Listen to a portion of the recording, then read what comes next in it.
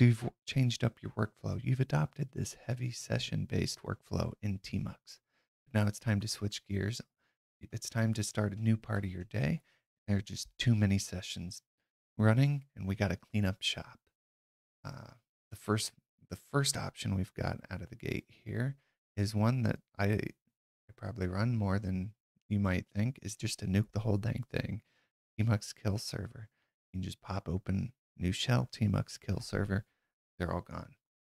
Um, uh, make sure that if you before you ever do a Tmux kill server, you diligently are saving and committing your work throughout the day. Um, another one that's maybe a little bit more reasonable is kill session.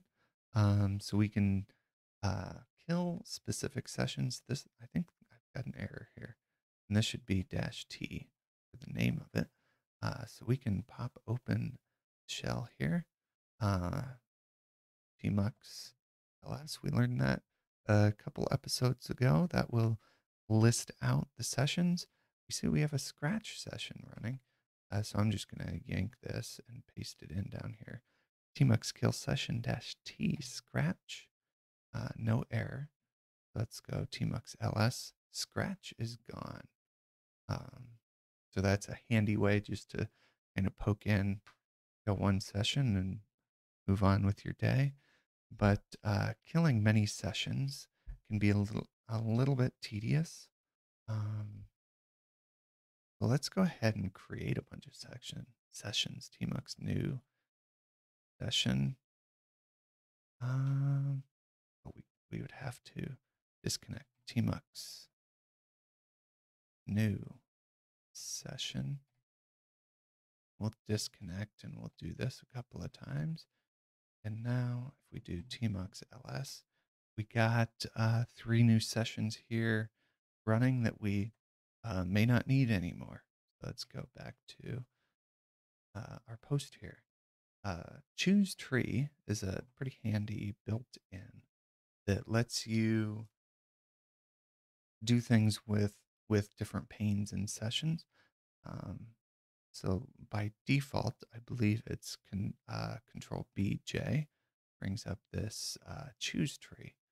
Uh, so we can switch to session five here. Uh, maybe we'll make a couple splits. Move back over. Uh, hit, oh, get rid of this. BJ again. If we go back into five, we can poke in and we can see that we have a whole list of panes open.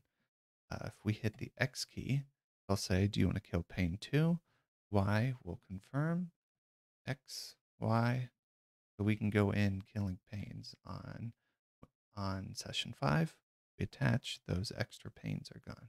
Oh, I'll recreate them just for more example.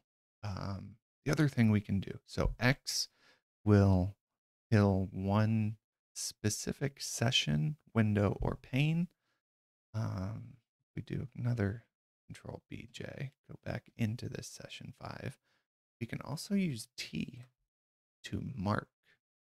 Uh, so I'll mark uh, these two windows in five, and we're going to go ahead and just get rid of six and seven altogether.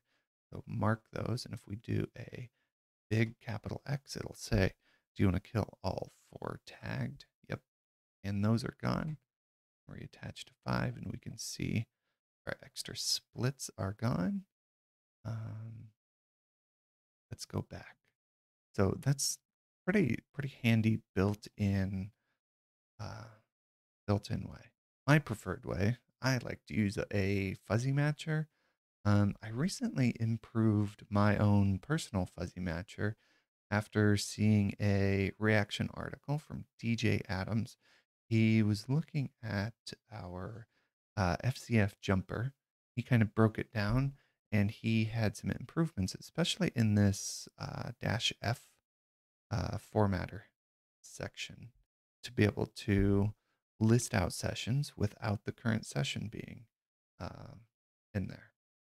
So anyways, I have bind K so this will be prefix K will display a new pop-up and it'll tmux list sessions uh, without the without the current attached session in it only the session names, not the full uh, amount of panes and all that kind of stuff in it, just the name.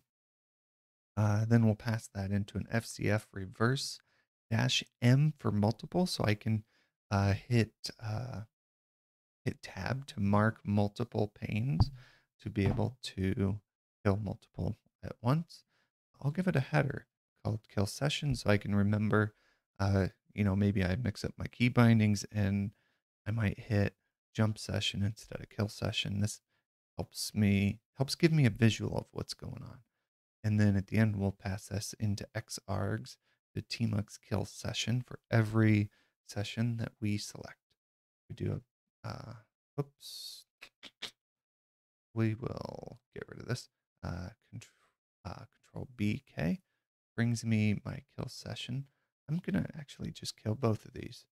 So I'm going to do a um, tab, tab, enter. And then if we do a new split, tmux ls, we only have one session currently running. I can go ahead and close out these extra splits here.